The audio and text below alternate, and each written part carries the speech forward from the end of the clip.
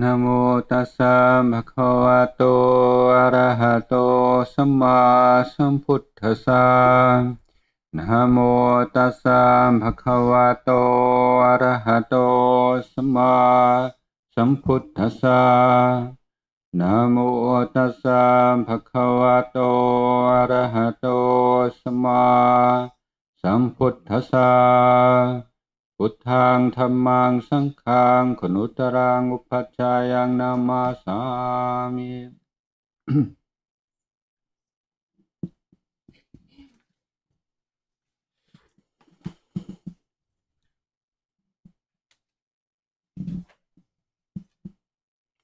One of my favorite exercises, and one that I'm uh, going to share with you and recommend you you um, try for yourself, is to imagine you have a guest from Mars or Venus or any other planet, really. But the idea being that this is someone from another planet who's very intelligent but knows nothing at all about um, this world and our life in it and that you then have to explain your life and the things you do and the things around you and why they things are the way they are to this uh, visitor from Mars.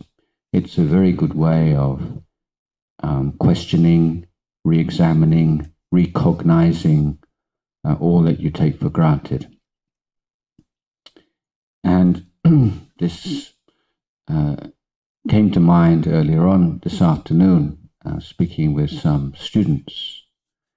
And one of the students um, said, I hear that you, you, know, you keep an awful lot of rules. Is that true? And, and I said, yes, I mean, hundreds and hundreds and hundreds of rules.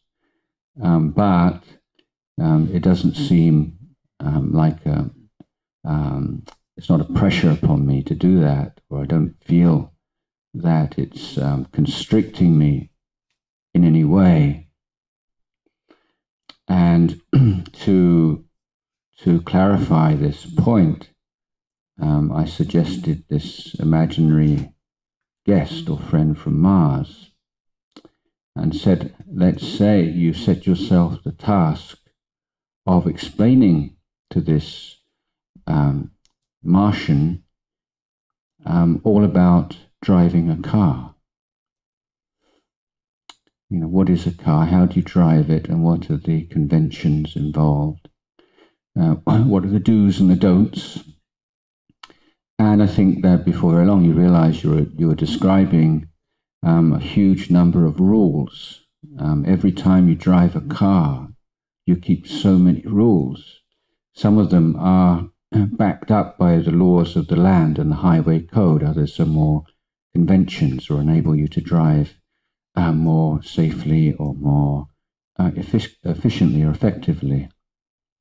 But I, I would, uh, I would doubt whether everyone, anyone feels that when they drive a car, they're ta- taking on a huge number of rules and regulations which are very um, constricting and, and suffocating.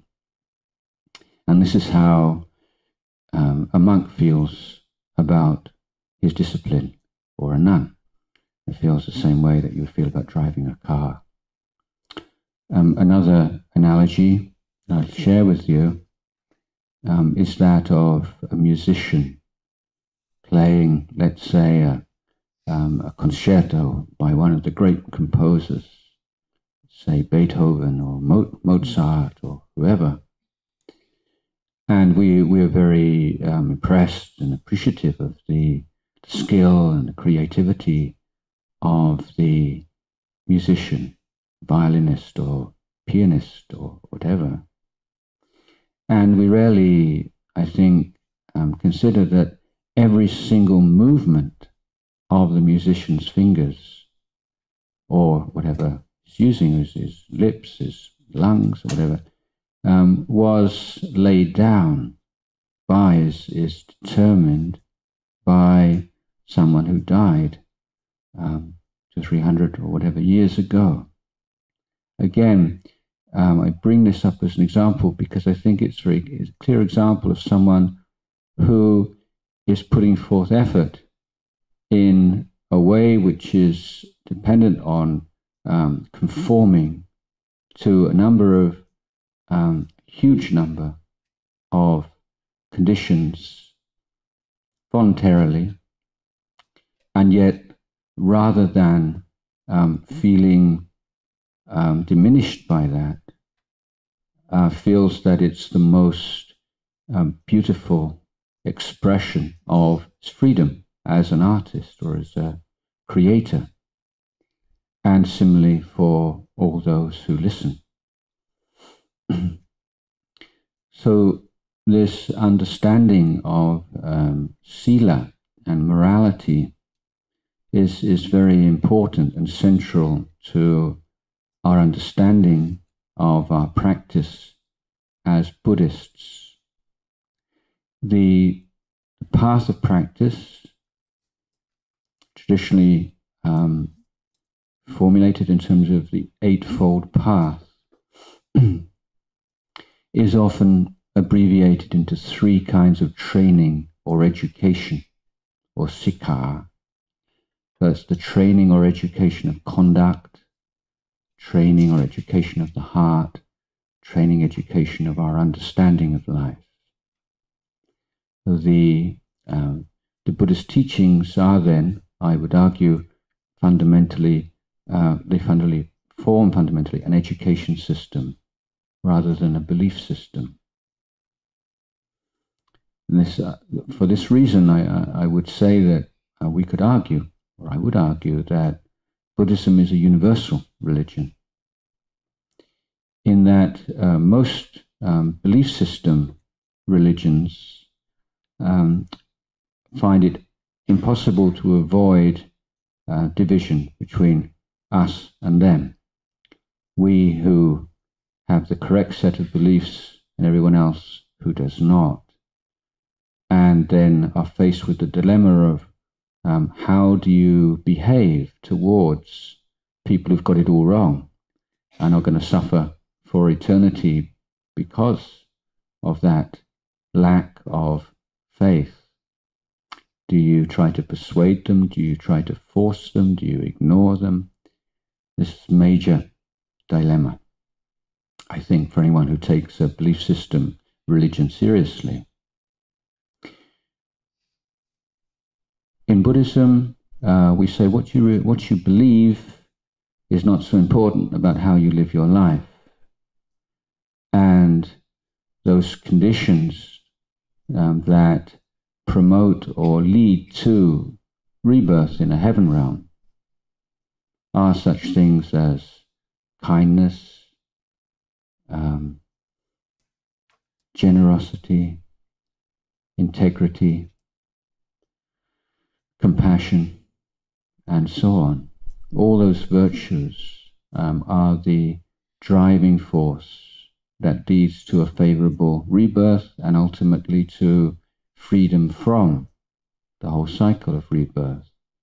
And for this reason, um, wherever a Buddhist sees goodness and kindness and compassion and generosity and integrity and honesty, Buddhist rejoices because that person is creating the conditions for happiness for themselves in this life and in future life, uh, completely independent, irrespective of whether they may be call themselves or consider themselves Christians or Muslims or Mormons or Hindus or, or whatever the religious label, the beliefs are secondary to conduct, to inner and outer conduct. So uh, Buddhism, on the, for this reason, is, has never been um, an evangelical religion, but it's one in which um, Buddhists seek to support the creation and the growth of goodness in whatever society they find themselves and and are tolerant of those of different beliefs um, in the midst of their own uh, countries and communities. So Buddhism is, um, as I say, essentially a training or an education of the whole of our life. And it is not merely um, you know, a cultural identity. Um, that is um, a sad waste of a human life if um, we take on Buddhism merely as an external form, but don't embark upon this education with which the Buddha bequeathed us. So, in this threefold training or education of sila, of the heart, and of uh, wisdom, it's important to understand that this is what we these days would call a holistic um, education. That is to say, it's not step by step, or that you can't take one part of the education and develop it out of context. Indeed, in the practice of sila, or the conduct, the education, training uh, of conduct, the um, the heart and wisdom education is always there in the background. It's just that in certain circumstances, the sila or um, education of conduct, or what's generally referred to as morality, takes the leading role. And the other two elements are, are in a supporting role in the, those most Buddhist students, those of you, most of you will know that the second uh, leg of this or, or um, element of this training is usually called samadhi. But it's important to um, understand here that the word samadhi as the second of the three kinds of education is used in a different sense um, to that used in samma samadhi, the eighth um, leg of the, it's part of the Eightfold Path, where it refers specifically to um, the um, inner tranquility and clarity and stillness and stability of mind produced by uh, meditation practice. In the threefold training, this word is used to cover all of the um, different um, elements of the education of the heart. So all the ways in which we we we seek to deal creatively and effectively with negative mental states uh, such as anger and lust and greed and uh, jealousy and depression and anxiety and fear and so on, and how we cultivate all the wholesome mental states of kindness and compassion and contentment and patience and resilience and, and um, effort and so on and so forth. So samadhi is an umbrella term in the threefold trainings rather than a specific technical term uh, referring to meditation. And so for this reason, I, I prefer to use the training of the heart rather than samadhis to avoid any misunderstanding. So, in that training of the heart, education of the heart, then the training in morality and in wisdom or understanding is also present, but in a supporting role. Development of wisdom, the sila and the samadhi, the morality and the training of the heart are also present in a supporting role. It's just a difference of um, prominence and um, whichever area of the training um, is um, is appropriate, most appropriate at any particular moment. So this is a very um, uh, unusual um, attitude to morality um, when we compare it with the usual idea of, of, of, morality as conforming to a set of rules laid down by a, a deity, uh, which are uh, backed up by a system of reward and punishment. in in in Buddhism, then we have the uh, recognition that we, as human beings, we cannot, um, through an act of will, prevent um, unkind, cruel, jealous, nasty thoughts from arising in our mind. And we'd go crazy if we, if we thought we should, full of guilt, uh, because it's not something that is possible. But what we can do, and it's not um, too high and too, too um, idealistic a standard at all, is that we can make a commitment to not expressing those kinds of volition in our actions or speech. So we're, when we take the precepts in formal precept ceremonies, the, the lay Buddhists request the precepts from the monk. This is very important because it has to be voluntary. This is an expression of the voluntary nature of this education. Each of the precepts, uh, when translated um, accurately into English, involves a phrase, I undertake um, the education of my conduct um, involved in abstaining from harming or hurting or stealing or sexual misconduct or whatever. So it's a commitment to an education. And once we have that commitment to an education of our conduct, then it's a standard that we, we have with us and forms what I call a peg for mindfulness. It enables us to awaken to um, how we are acting, the quality of our actions in daily life. It enables us to refrain from certain actions and to act in other ways. Now, the, um, the, the goal of this education, immediate goal, is to create trust and warmth and stability and a sense of safety in communities, beginning with families and going all the way up to the larger um, society.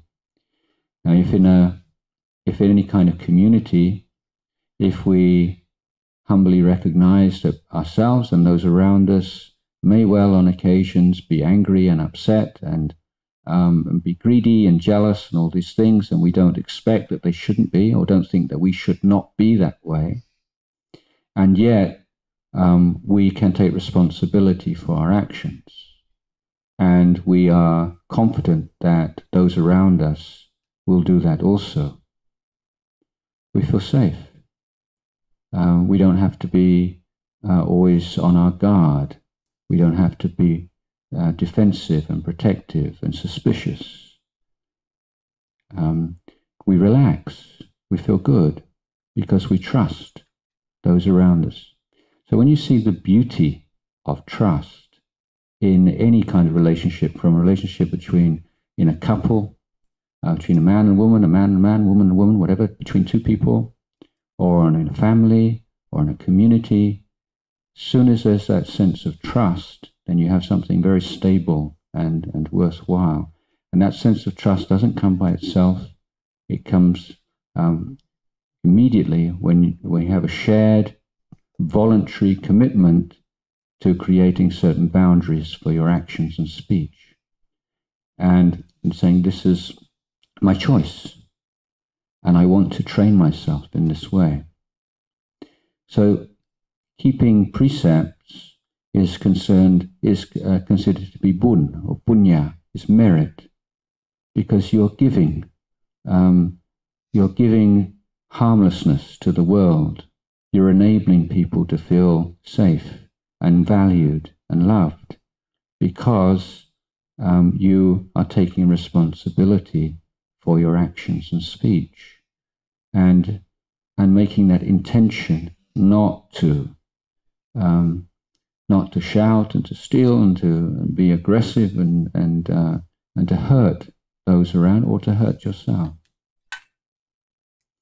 Now, internally, the um, the important feature of Buddhist morality is as an education training, then there are also certain other uh, features that must be fulfilled.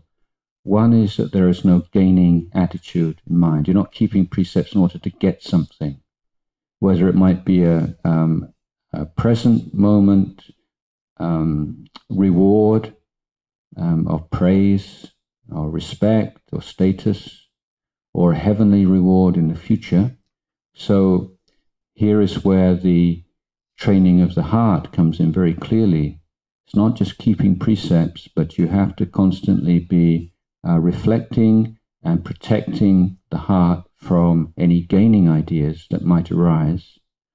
And secondly, um, the Buddha said that if you um, lead a careful and, and um, um, restrained and respectful life, you keep precepts, um, and then on uh, on the grounds of that pure sila, you look down on others who behave badly, and you consider yourself superior to them. By that very idea, by that very, or indulging in that idea and, and welcoming that idea, your sila is sullied. So the moment that you take this, um, I'm better than they are because of my pure sila, your pure sila becomes impure. So, it's, so it's, it's, a, it's a subtle training of the heart as, as well as of conduct. The result, which um, we uh, we aspire to is that through um, experiences in which we are under pressure or we are tempted to act or speak um, badly or unwisely, and we are nevertheless able to maintain our commitment to precepts, um, we feel a sense of self confidence, and we start to feel we really like ourselves. So, this sense of uh, self respect and liking ourselves is uh, the Buddha suggests, I'm suggesting you don't take this obviously as an object of faith, but look at this, just how your perception of yourself changes. You like yourself. And if you're going to develop meditation um, in a way that leads to wisdom and liberation, you have to be good friends with yourself. Um, it doesn't work otherwise. And this is why Sila is so fundamental.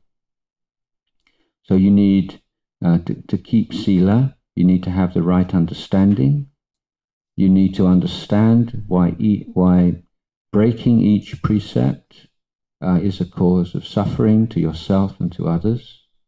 You have to see the beauty, the value of each precept and really aspire and to want to keep the, keep the rule.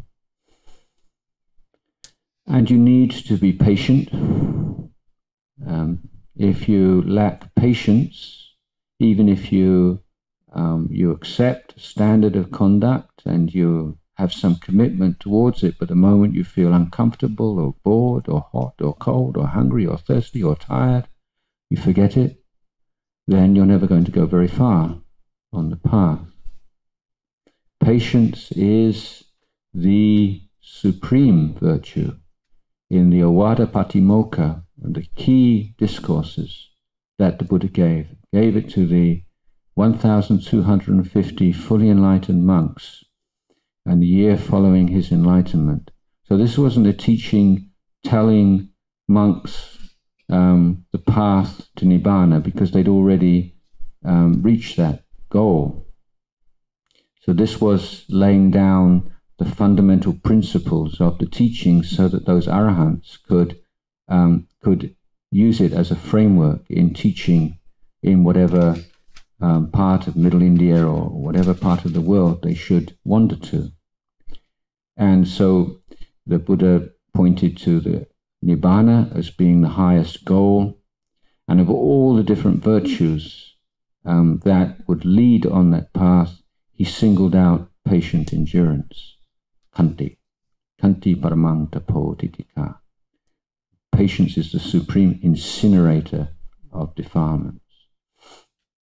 And it's worth, um, worth coming back to this teaching um, because it's not, it's not one that um, I think is um, emphasized enough.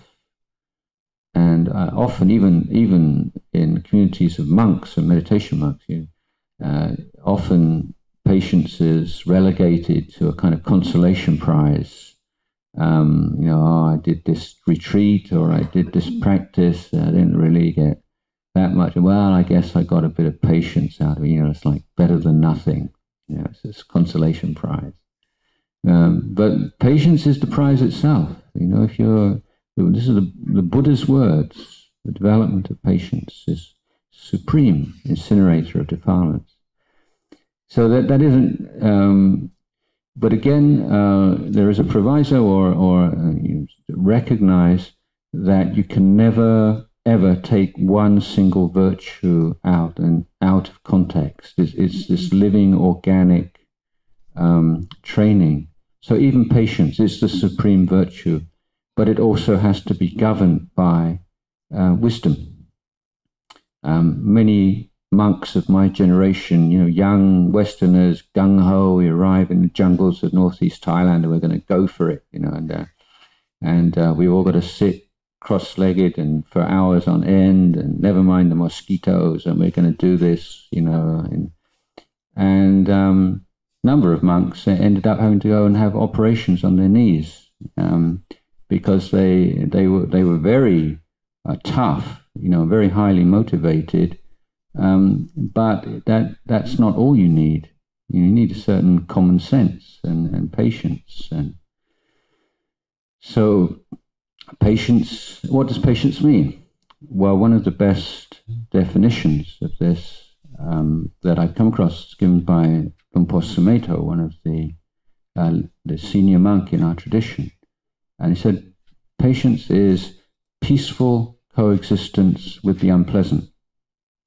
So, so patience doesn't mean you're gritting your teeth, you know, and just keep looking at the clock. That's not patience. That's not what the Buddha's talking about.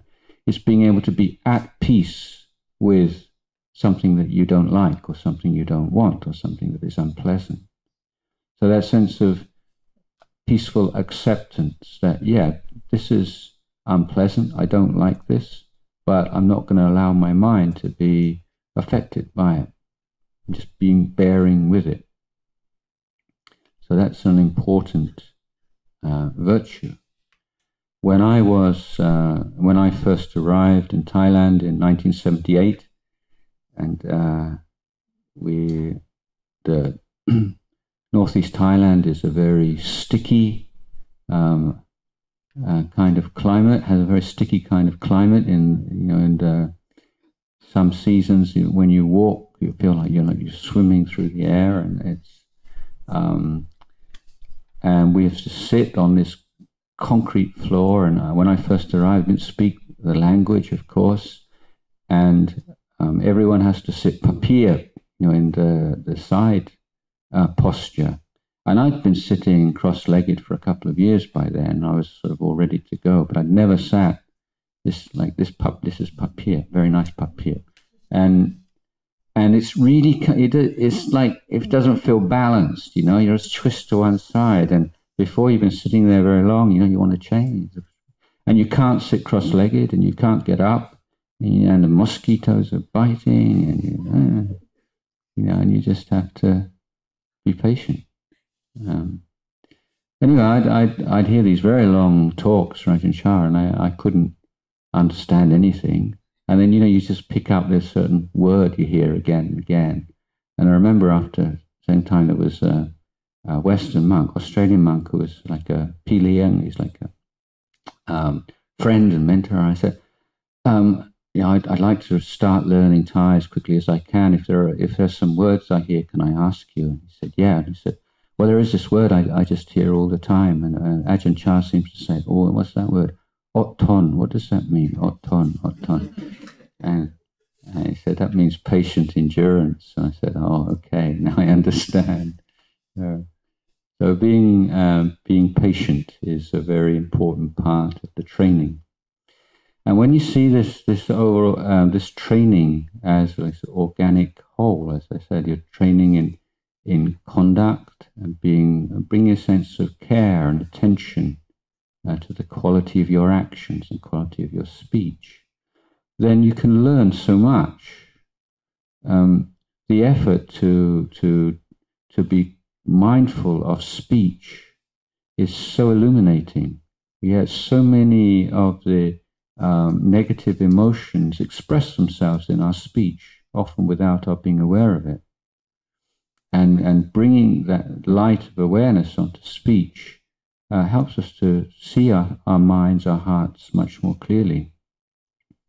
And it's a very important part of the training. Now, the, the, the, the aspect of Buddhism which is most immediately appealing uh, to many people is that of meditation, meditation practice. But the understanding of meditation practice um, tends to be uh, very narrow. People tend to think meditation is, you know, is that's what the real Buddhist practice is, and you sit with your eyes closed or you walk up and down. That's that's Buddhist practice. But in actual fact, the what I would um, like to, to share with you is that the best framework for understanding Buddhist practice is, in fact, what we call the four right efforts. So let's um, look at a, me- a, typical meditation session. You know, what are you doing when you're meditating? Yeah, I mean, you're you're putting attention on the breath or on a word or, or whatever. But looking at slightly from different angle, first thing you're doing is you're trying to sustain attention in such a way that negative mental states such as desires and aversions and laziness and, and dullness and agitation and doubts um, don't um, engulf the mind. And on those, uh, and when uh, that's not successful, and you find you're meditating, you've got sleepy or you're agitated or you've got all these thoughts about what you're going to eat when you leave here, or um, something like this going round around your mind, then you have to have uh, put forth effort, wise effort. You must have uh, strategies um, with which to deal with those hindrances, with those negative mental states that have arisen. So you're putting effort to protect the mind from negative mental states and to deal with negative mental states that have arisen. You are also seeking to cultivate positive um, emotions, obviously, mindfulness, clear comprehension, um, effort, contentment with the meditation object, um, and perhaps uh, uh, loving kindness or compassion, most specifically, you're seeking to develop what we call the enlightenment factors, or the bojjhangas, or the jhana factors. So these are uh, in meditation the bojjhangas or enlightenment factors. The jhana factors are, are the wholesome um, mental states that you're seeking to cultivate. And when they have started to arise in the mind, your effort is to nurture them and to bring them to maturity. So, meditation is effort, it's putting forth effort to protect the mind from unarisen um, negative mental states, um, to prevent their arising. It is the effort to deal with negative mental states that have already arisen. It's the effort to, uh, to create and to bring into the mind positive mental states that have not yet arisen, and to cultivate and to further uh, nourish and to bring to maturity those um, mental states, that, positive mental states that have arisen. Now, in practice and daily life, you know, oh, I just don't have any time to meditate. Life's so busy. You know, by the time I've uh, been on, uh, going to send a few messages with Line, and I've done my Facebook, and I've done this. You know, there's just no time left for meditation. Life's so busy, um, and the you know, the, this sense of frustration and maybe, oh, maybe I can, you know, take a few days off work and go off to a monastery or a meditation retreat and really get my practice together again. And, and uh, you know, if it wasn't for my husband, my wife, my work, my dog, my, then I would be peaceful, you know. So there's always someone or something to blame. But then if we just change our, our attitude and, and, and look at our practice in term of, terms of the four right efforts, we say, yeah, there's always, whatever you are, wherever you are, whatever you're doing, whoever you're with, you can always put forth one of those four efforts. So um, in the morning, um, going to work, you know, preventing, uh, what, what are the unwholesome dhammas that can easily arise in your mind during the day. You, just think about this beforehand. Um, what do any negative mental states arise when you're driving to work? You know, when you're uh, in traffic jams or when somebody uh, drives in a very inconsiderate manner. Um, what's your usual mental state uh, on the way to work? Are there any negative mental states that tend to arise? So how can you protect your mind against them? Or when you get to work or during the day, you know, and you and you do get upset and, and hurt feelings and frustration and anger and tension and what strategies do you have? What have you developed? What resources do you have to deal with those? Or do you just try to get away from them with, with some pleasure or just to forget? You see, I, now we, we have an unprecedented um, ability to escape from problems. And we have uh, a more, uh, uh, you know, uh, more and more atrophied and weaker and weaker capacity to deal with problems. The moment we have even the slightest amount of boredom or anxiety or depression or something, you know, immediately we have we have a way out smartphone um, or um, get in touch with somebody, have some kind of little hit of enjoyment or eat something, look at something. So seeing this in terms of, of rather short term and unsatisfactory um, and ultimately self defeating um, means of escaping from life as it is right now. And we need to develop that ability to be in the present moment and to learn from life and to learn how to deal with all these negative mental states that arise.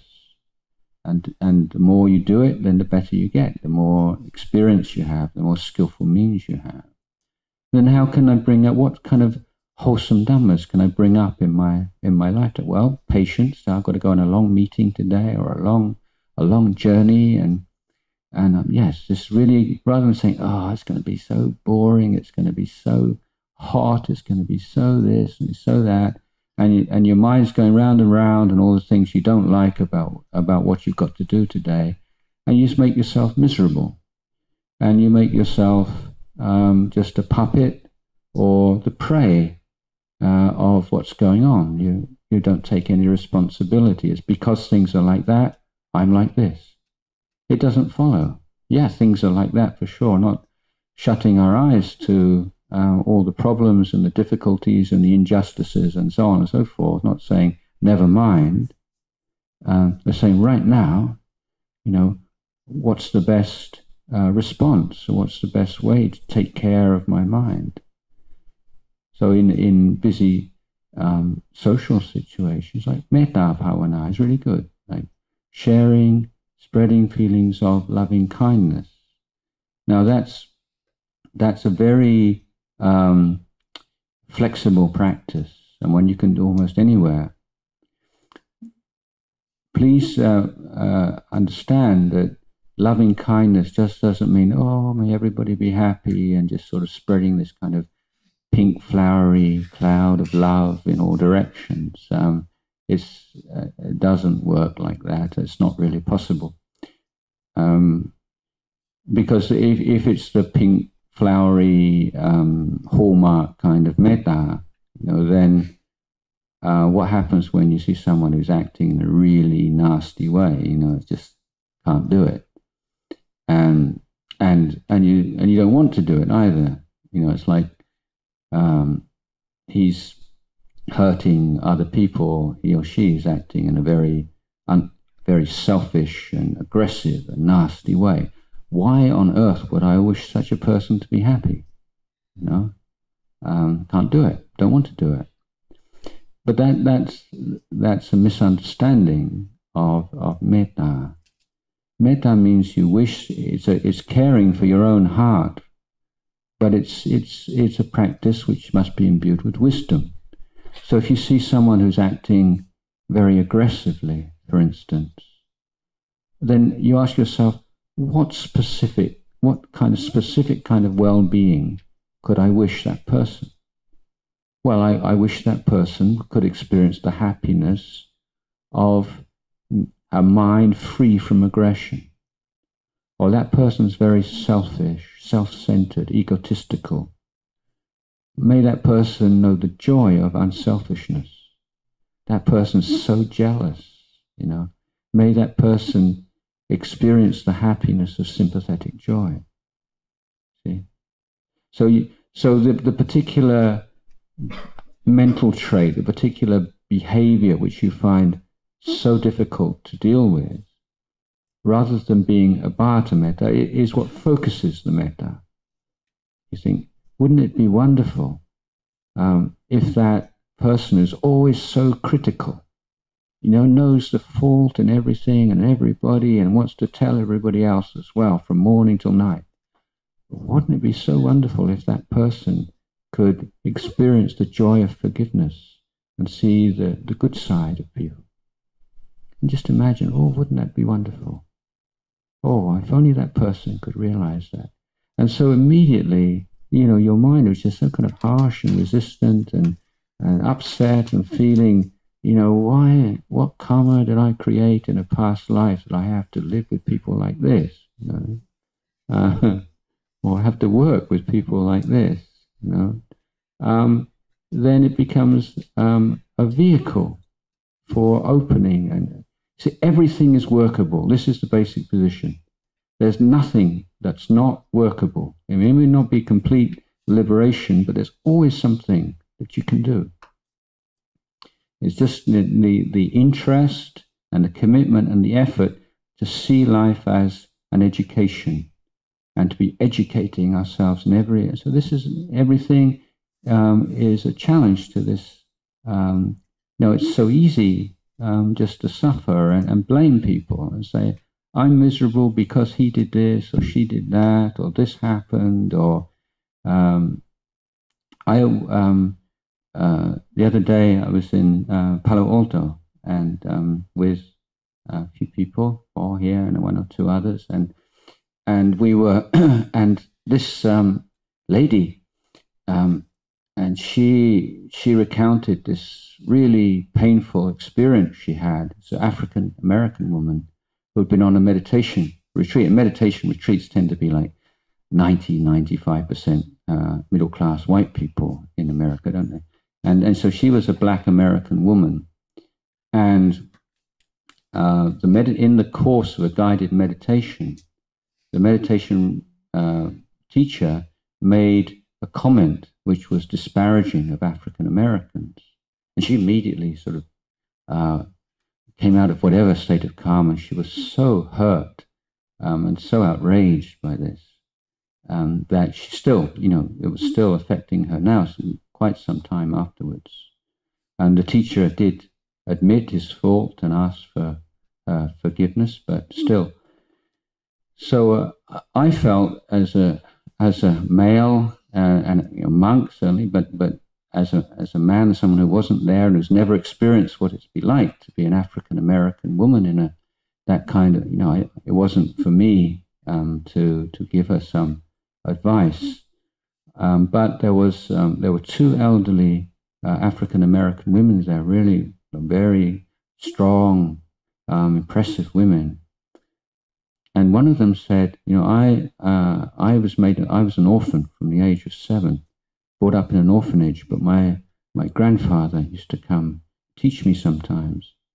And he taught me something when I was a small girl that I never forgot. He said, girl, he said, there's nobody in this world better than you are. And you're not better than anyone else in this world. And she said that I just remembered that all my life. And whenever I met the racial prejudice or people treating me meanly, I just remember that. I thought that was such a wonderful, wonderful thing. I thanked her. I said, I'm going to tell lots of other people about what you said today, so it will go, go further. And this is, um, it's not, I would say, from a Buddhist point of view, um, it's not quite there. But it, it, it's, it's a very beautiful, a memorable thing to say. And she said it with such humility and such, it was so beautiful. Um, I was really glad that I was there to hear that. But from Buddhist point of view, to say, um, you would add, third point of view, that you're not on the same level as anybody else either. Because conceit, you can take, there's three kinds of conceit. I'm superior to you, I'm inferior to you, I'm equal to you. And it's that I'm equal to you, which, which is the one which we tend, especially in a sort of egalitarian society, uh, we don't tend to see as, as a form of conceit. But the moment that you set yourself up as something compared to others, then you're in the world of, of conceit. Now, the, the ability to come to the present moment, you know, with a lot of this, just be in the now, you know, it's like be here now, as if it's uh, the goal. You can be here now, everything's going to be okay. You, know, you can eat an orange and you can do all these kind of things and be really happy. But the, the point is, well, what I would like to uh, say is that the present moment is to carry on, expand on this education training analogy. The present moment is the classroom. Okay, that um, you learn about life um, in a direct, non-discursive, non-speculative, direct and life-transforming way when you can dwell awake bright, clear, still in the present moment. And at that time, everything is teaching you. You learn so much. You observe so much. Understanding of, of things which, if you read in a philosophy, book of philosophy or, or something, you, you would think, you'd close it after a page and think, this is too, I can't understand this. But when you're bright, awake, aware in the present moment, you learn this stuff. It's only when you try to articulate it afterwards you realize, wow, that's really profound. But at the time, you don't. It's just kind of normal. Every it's just this. It's just then you realize, yeah, that's that's really never thought about that before. Um, or I did, but it was, you know, as I've been saying since I came to the states, you know, the the, the our community as our communication, our ability to communicate with others uh, expands exponentially and is exploding. Our communication with ourselves uh, becomes poorer and poorer, um, and and we lack um, this uh, awareness of what's going on. You know, we know the news. You know what's happening in Thailand or what's happening in in England or something. You know, within a flash, and yet things that are you know old news going on in our own heart and our own body, we still haven't heard it uh, because we're always looking elsewhere. Always looking for something new, something more, something exciting, something stimulating anything more. Um, and so coming to the present moment, we, we begin to notice, oh yeah, uh, you know, a simple thing. If you, are in the present moment and suddenly a thought pops up. And at that moment, you notice that the moment that a thought arises in your mind, there is no sense of a thinker. And that sense of being the thinker arises conditioned by the thought, not the other way around. Common sense says you have to have someone who thinks before you can think. It's obvious. But direct experience says that's not the case. There's the thought arising, conditioned phenomena. It's a trigger, thought arises, and then there's a sense of ownership. So, so is that true? Have you noticed that? Um, if you if you have, then suddenly a lot of this stuff about anatta and emptiness and all this kind of stuff which you've been reading about and and furrowing your brow about and thinking you maybe you understand. You say, oh, that, that's that's it. You know, there's just this flow of phenomena. Uh, there's the um, uh, there's the uh, acqu- acquisition of this flow and this sense of ownership and self and other that arises moment by moment. So, uh, you know, people of other religious traditions say, in Buddhist view, uh, when was the world created? How long ago? You know, do you, you accept the Bible view of a few thousand years, or you and these sort of Big Bang people, or you know, where, and as Buddhists we say, right now. This is when the world's created. It's created right now, and now, and now, and now. It's created moment by moment. We create the world, and for that reason, um, we don't we realize that um, the creation of the world is not a fixed and necessary thing. We can transcend that, and this is the, the liberation that the Buddhist training provides or can provide. So it's not a it's not a teaching of adopting certain beliefs and attitudes and dogmas and, and forcing all the doubts out of your mind um, and trying to reinforce the things that you believe so you feel safe and stable. This is bringing your mind to the present moment um, and looking and observing. And your interest in that and your ability to do it will be conditioned very largely by the care and the attention you give to the quality of your actions and speech in your relations with those around you, in your families and your communities.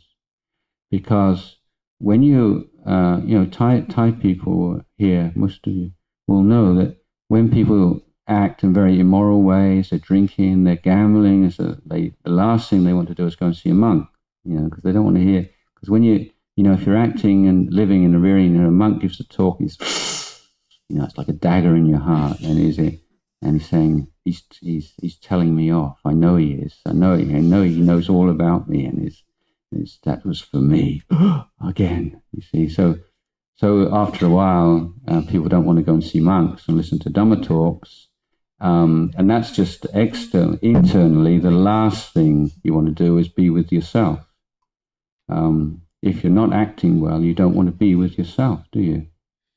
Um, and how difficult it is to be with yourself anyway. I mean, in all, um, most, almost all civilized countries have uh, abolished um, capital punishment. Um, but in those countries that have, then the worst, what's the worst thing they can do to you? You know, the absolute horror is um, put you in solitary confinement. You know, to be with yourself is the, is the most terrible punishment for, for most human beings. And um, so it doesn't have to be. It's, it's quite the opposite. You know, learning to be with yourself and learning from experience um, is what gives you that real sense of a compass and a direction and a sense of what's right and wrong, and good and bad, and wholesome and unwholesome, not as a philosophy, but as something that is, uh, is an articulation of direct experience. So I would like to end my talk at this point. Thank you.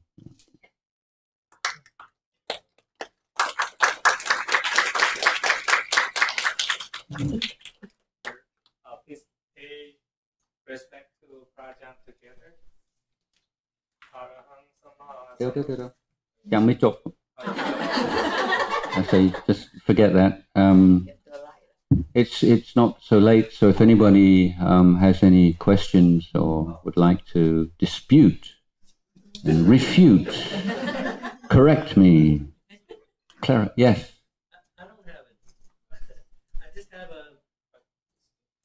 Sorry, I can't.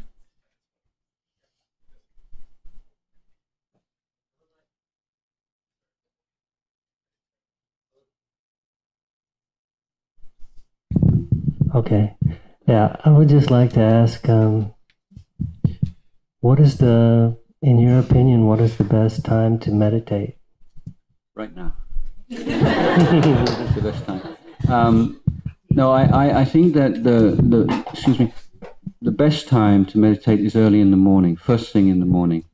And a lot of people sort of lose their um, lose their enthusiasm for meditation because they tend to meditate before they go to sleep at night, and by which time you know they're they're run down and tired already, and they don't really, and it becomes just kind of like an empty ritual, and, and especially if they sit on their bed or anywhere near a pillow, and then after a while. And, and then sitting meditation last thing at night without any any real foundation of meditation um, can lead to some very bad habits because you tend to get sleepy and then you get into this habit of associating meditation with sleepiness. Um, so some kind of meditation before sleeping is is is a good idea, definitely. Um, just to, for one thing, it'll prevent bad dreams and you're relaxed and you sleep better than if you're going to sleep very anxious and, and stressed out. So it's a good thing. But the main meditation practice, I think, should be first thing in the morning because you're refreshed. You don't have anything, hopefully, very much in your mind.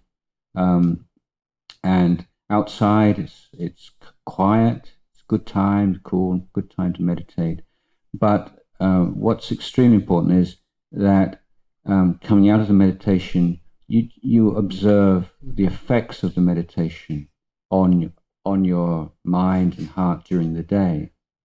Because if you start to observe that you feel a little bit more grounded, a little bit more patient, a little bit more forgiving, a little bit more present, and so on, um, then you, you start get confident. Yeah, this is really worth worthwhile. This is worth um, giving some time to every day, and you begin to see some some definite changes taking place. So long term motivation, you know, you have to see some positive results from effort. And meditators often will, will, will set the bar too high. You know, they want to see some sort of special um, experience, but come down a bit and just look in daily life. And if you're just a little bit more patient and kind and sensitive to others and um, a little bit more aware of how your behavior is, imping- is impacting other people, that's a sign that that um, meditation is is starting to have some transformative effect on your life. Um, I would I would suggest to uh, also at the beginning to make some kind of a time um, uh, determination. So do this for three months every morning, whatever, and and keep keep a, a diary or a record. So at the end of that, you can really see if there are any changes, and to really to give you that um, willingness to just to keep at it. Uh, because at the end, at the end of the day, as they say, it's it's more that constancy and just being very patient and keeping at it every every single day, rather than what some people do, get really enthusiastic, go on a meditation retreat, and yeah, and when I get back, I'm going to meditate every day, and, and it's it's like you know the clock, the watches people used to have before digital, you know, just sort of goes goes slower and slower and slower. And so you start off every day, and it's every two days, and then from an hour it's half an hour and 20 minutes and, you know it's, it's, and then suddenly it's it's all gone away um, so steady eddy you know just keep keep very very uh, it doesn't have to be a long period of time but uh, consistency um, is really key thank you um, i had always thought that Khanti was translated as forbearance, so that forbearance was the highest virtue. And I'm not sure what forbearance means, but maybe something like forgiveness. Yeah, I, I, I actually um, prefer in my own works of translation. I use forbearance, but but I would I would consider forbearance and patient endurance as meaning the, the same thing. I mean, some people, uh, particularly people who speak English as a second language, uh, kind of a bit puzzled by forbearance, and they don't because it's really a kind of um, Charles Dickens 19th century kind of word rather than one that many of us use these days, isn't it? Um, but but um, yes, but forbearance is, I would say, uh, whether we use patient endurance or forbearance, the the the, the idea there, the essence of it is this uh, patient uh, or uh, peaceful coexistence with the unpleasant.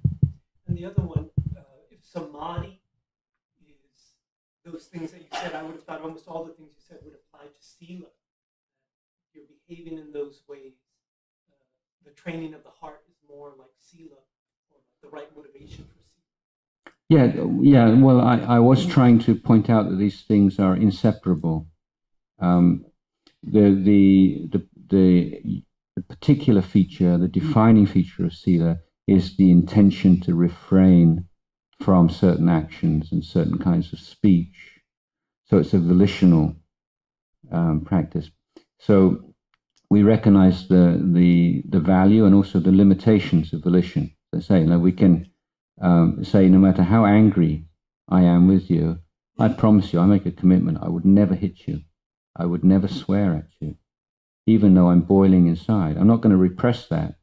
I'm going to be fully conscious of it, but I'm not going to um, express it. So this middle way between repression and expression, and so you you can be you can feel safe because uh, I'm not going to hurt you that way.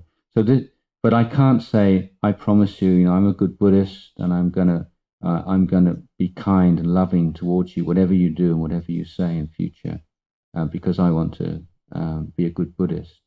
That would be foolish because you can't prevent the arising of negative mental states with volition. The, the sphere of for you know, work for, for, volition is action speech.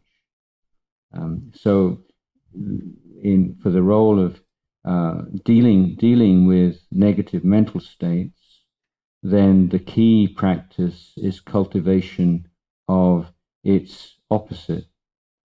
So, in the case of anger, then cultivating loving kindness and developing a new habit in the mind.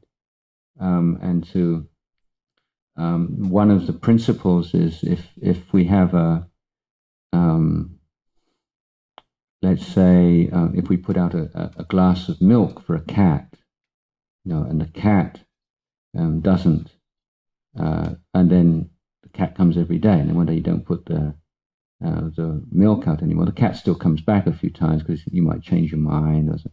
But eventually the cat realizes, no, no milk here, go somewhere else.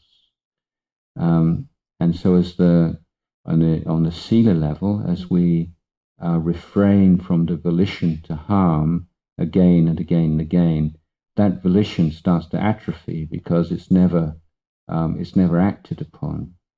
And at the same time, from the inner we are developing these thoughts of loving kindness and and and um, and forgiveness.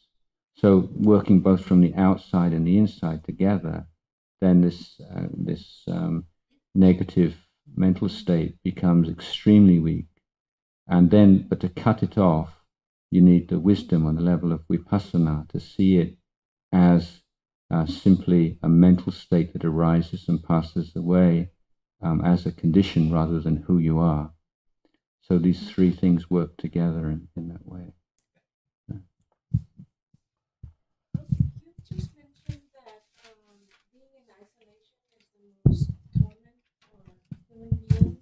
For, for prisoners For or prisoners, non-meditators. right. Yeah. But, uh, so, so, um, why is the the emphasis prac- practice for the forest monastery is emphasis on being in isolation? No, uh, I, I was pointing to the fact that for someone who has acted or acts in very um, unskillful and harmful ways, um, one of you know, some people say, or you know, he, he's done bad things, and look, he's so rich and wealthy and famous, and um, Tamchua Deidi, you know, and, and um, reject this uh, the law of karma. Uh, and the, the, Buddha never said that you know acting immorally um, means that you're you won't ever get rich or famous or or anything. But one of the immediate results of unskillful action is that people find it almost impossible to be with themselves without distraction. So, from, from a point of view of, of, of somebody in the world who has no spiritual aspirations, so what? But the moment that you have some kind of right view and you have that aspiration, then you say, that's horrible, that's a hell. So, if someone who has that kind of mind is put in isolation, it's awful. But if you have pure sila and you're interested in meditation um, and observing your mind in, in, in great, with subtlety and detail, isolation can be um, wonderful. So it's whether or not it's voluntary and it's dependent on the person and the uh, the intention. Um, so I mean, monks when they hear about people in solitary confinement, I could do that. that wouldn't be so bad. I mean, I yeah.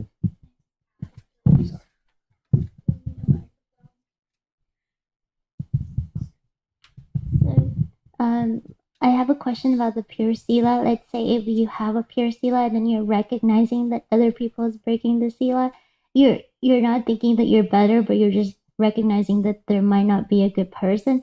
Will that make your sila obsolete as well? Because I mean, no, it, it it's not that it, it makes it obsolete or completely zero, you know, nullifies the sila. It, but it's an imperfection or it it um, sullies the sila, if you like. Um, so it's it's a more subtle, you know, it's the next level of training. But I, I really wanted to point out that that sila is a very uh, complex and and um, uh, integral part of this whole training or education. But the rec- but in I think in the West, this whole idea about you know being non-judgmental. You know, it's like a a, a virtue which is considered um, very important. But in uh, in Buddha Dhamma, we, we would say, yeah, if someone's acting in an unskillful way, there is a recognition that person is creating really bad karma. And so then we have like Brahma Viharas. You know, you don't want someone to be creating bad karma, so you, you have compassion. And you think, is there something that I could do or to say to uh, to to make this um, person um, realize the foolishness of their action or to change? Um, is our relationship such that that person would listen to me? Um, what would be the right time and right place? What would be the right words? Um, then maybe you get the, the you, you feel that yeah, this isn't that person is just not going to listen to me right now, and um, so you say, well, then I dwell in equanimity and just keep my mind calm. And then whenever anything changes and I can do something to help that person, then I will. So there's a distinction between saying, thinking, uh, I'm superior to that person. But, uh, but if you have a recognition, oh, I'm so fortunate that I that I've heard this teaching and I'm practicing in this way, and and you feel sad and compassionate for someone who's still acting in ways that's making their own life very painful and making uh, and creating pain for those around them.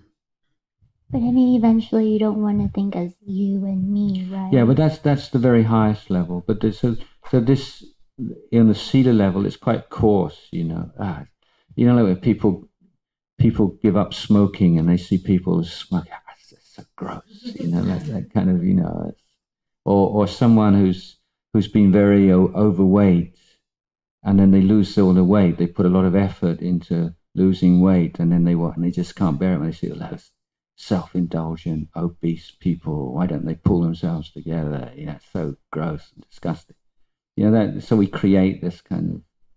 Uh, it's just something to. It's normal and natural, you know, but something to to recognize and to let go of. And to,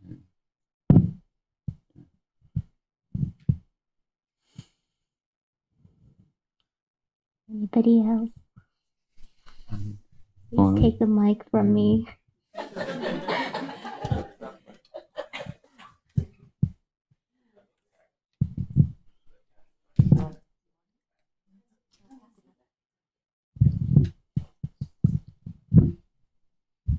Thank you for coming here today. Uh, this is all pretty new to me, and um, I grew up studying Taekwondo and learning how to how to meditate at a very young age, so it's coming pretty easily to me. However, I'm a little bit of a news junkie, and we live in a violent world right now, and I'm just curious to know uh, from what my wife has exposed me to, it seems to be very peaceful and very loving. However, I'm having a hard time reconciling the monks in Burma and the violence that's going on there now, along with the Shaolin monks who practice martial arts. I was wondering if you could just try to explain what's going on there to a layman. Okay, yeah. Well, um, are different schools of Buddhism and different ideas of what a monk is and what a monk's role uh, is or should be. So uh, I'll try to simplify as much as possible. In this school of Buddhism, uh, which uh, called Theravada, which we find in Thailand and Sri Lanka and Cambodia and Burma and so on, the idea of the monastic order has traditionally been that the monastic order is a unifier in the society, that monks don't take on any uh, political affiliation, they don't make overt political statements, they don't identify themselves with political parties or even social reform parties. Um, and one reason uh, for that is that people of every political persuasion can come to the monastery. So whether they're uh, rich or poor or uh, Republican or Democrat or red or yellow or whatever, then the idea is the moment you walk in the monastery, you put all that, you leave all that at the gate, and you're all Buddhists, you're all students of, of, of, of the Buddha or of the Dhamma. That's, that's the ideal.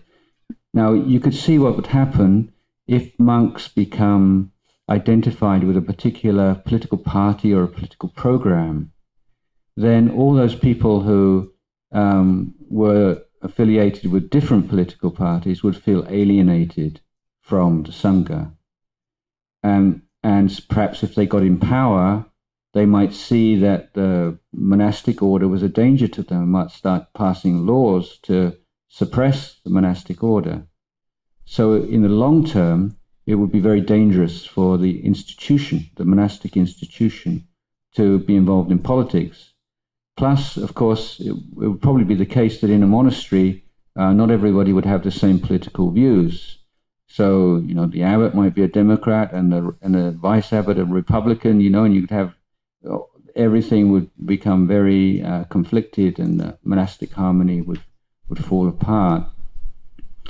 Um, but that's not to say that monks uh, should not stand up for Buddhist values but they speak more on a general level. This is this is the Buddha. The Buddha said that violence is always wrong, and there's no such thing as the means justifies the ends in Buddhist teachings, and whatever your justification should be, uh, hurting others is always wrong, and and so people can take this and apply it to particular situations. Now, this role of the sangha in, or the monastic order in society has been pretty well upheld in Thailand uh, for the past many hundred years. Um, and that's um, due largely to the close relationship between the monastic order and the monarchy. Um, and secondly, and most importantly, I would think, is that Thailand never became a colony of any of the Western powers. What is now Cambodia, Vietnam, Laos um, became French colonies. Um, Burma, Malaysia, um, Sri Lanka, India were all British colonies. Thailand was a buffer between them. In those other countries, the relationship between the secular power and the Sangha was cut. And in some cases, um, particularly in Sri Lanka, um, there was a, um, a, repression of Buddhism, quite a violent repression, uh, first by the Portuguese and then by the Dutch before the British took over in the 19th century. And British are a lot more you know, sort of indirect, and um, you know if you wanted a good job, then you have to become a Christian or, or whatever. But they don't actually make you do that.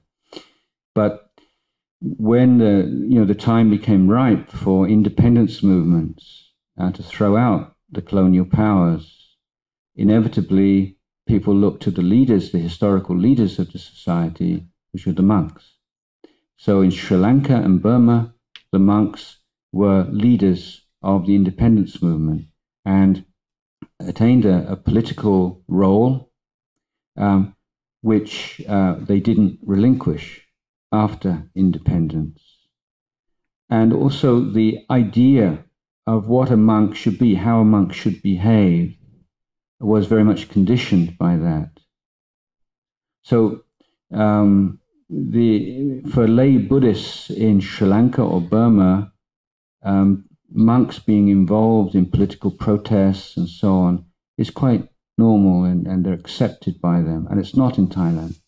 So there was a kind of weird situation. You remember a few years ago where the Burmese monks were on the streets um, protesting against the military government and were being beaten up and tortured and killed. And people all over the world were horrified by that and were calling upon the Burmese. And yet, how is it that the Buddhist country next door to Burma, same school of Buddhism, same kind of Buddhism, almost completely quiet?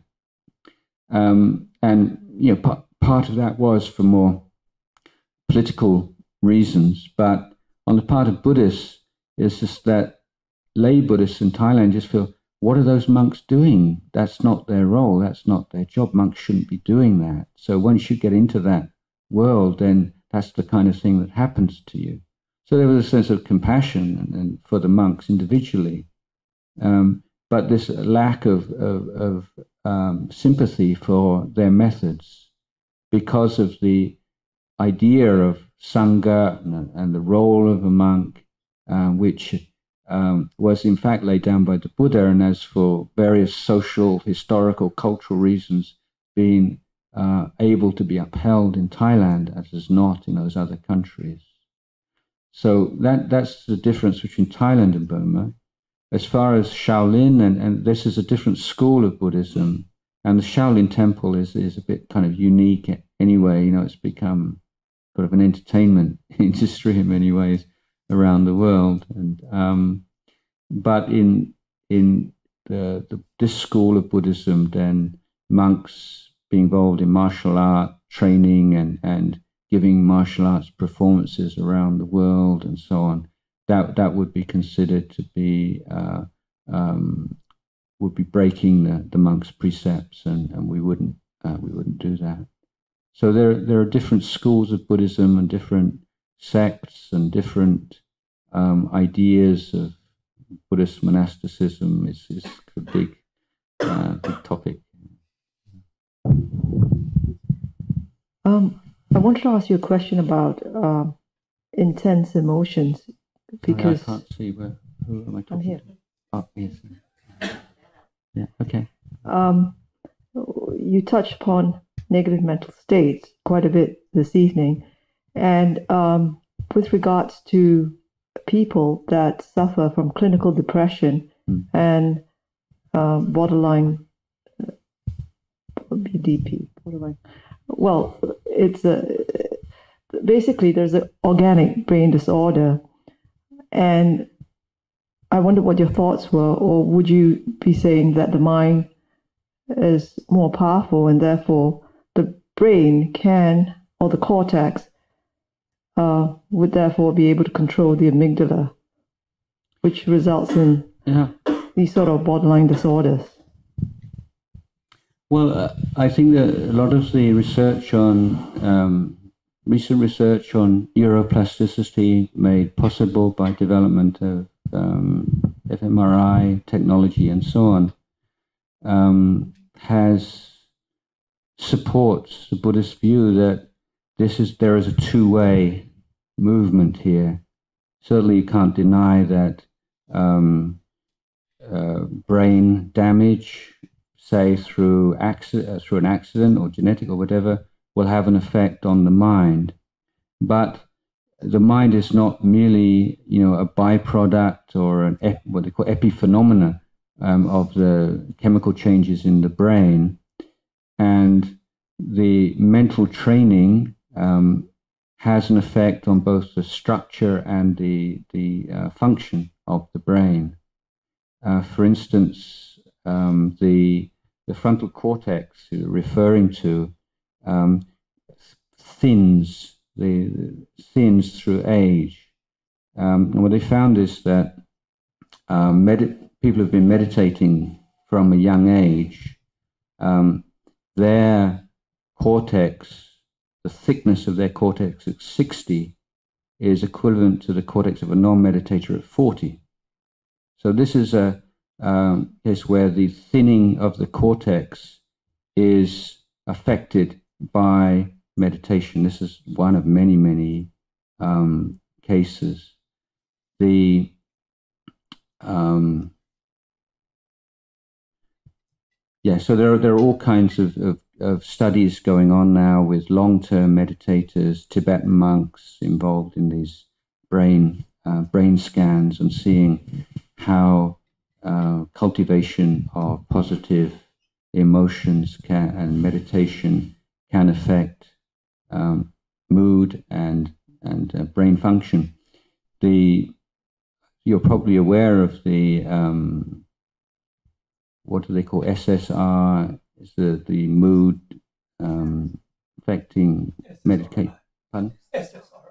SSRI that um, you can get this the compared with the effect of placebo. Um, placebo affects eighty percent of the effect of those medicines, um, which suggests that a lot of it is coming from the mind rather than the brain. And I think that you know that idea that the brain is like this, therefore the mind is like that, doesn't stand up to um, to analysis, um, and that we know on moving away from the brain a bit that um, if we're very stressed out and tense or worried, um, then that has an effect on our immune system, or it can create, or very simply, some people get when they get very stressed out, then they get diarrhea, for instance. I mean, this is a physical phenomena being affected by it. It is so common and obvious, you know, that um, happens again and again that our, our, mental states affect our physiology.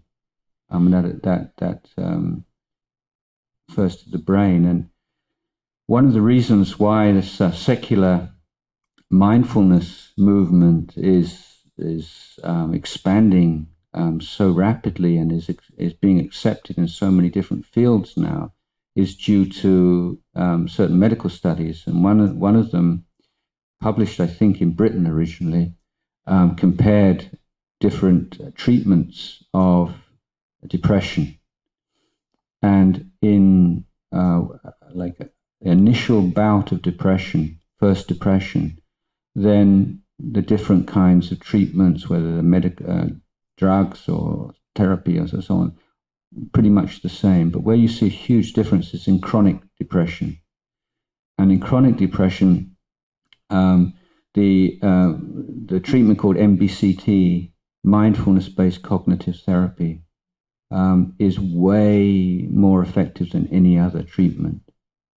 Um, so, and, and it's the clinical trial, the clinical tests of this uh, now out there, peer reviewed, and it's, it's generally accepted that this is um, you know, not some Buddhist or some radical theory, but it, there's hard um, evidence supporting this.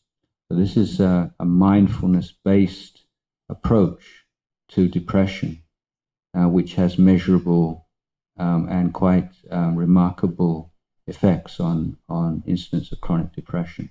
So I would say that's you know one one reason it, uh, I think it's one that gives us a lot of hope that you know we're not the prisoner of our chemicals, as it were. And even with genes, I mean, the you know, there's this there's this there was a period, wasn't there, where we're getting into this very mechanistic kind of idea. We are our genes. You know, you got because you have got this gene and this happens. But um, now the I mean, I'm not say claim to be a scientist, but from what I've what I gather, um, they found now a simple analogy would be like genes have an off and on switch. And the way your surroundings and your upbringing and so on determine or condition whether or not that gene is switched on. So it's not they say because you've got such a gene, you're going to be this way or that way. And one one experiment that I did read about was before they don't do these experiments on, on, on humans, obviously. It's done on rhesus monkeys where there is a one particular genetic mutation and rhesus monkeys who have this genetic mutation tend to act in very aggressive ways. So they, they got a number of these, these monkeys, and in one, the one group, um, they were given very warm and, and close maternal affection and attention, and the others were abandoned and lacked that kind of affection in the first two months of their life. The ones that lacked affection and touching is very important um, they they went on to manifest these aggressive tendencies, whereas the rhesus monkeys, who were surrounded with love and affection and touching and and so on in the first couple of months of their life, didn't, even though they had the same genes. So, so these these kinds of studies are coming out more and more now to show that it's um, it's this mixture of what we call nature and nurture. This it's not just one or the other.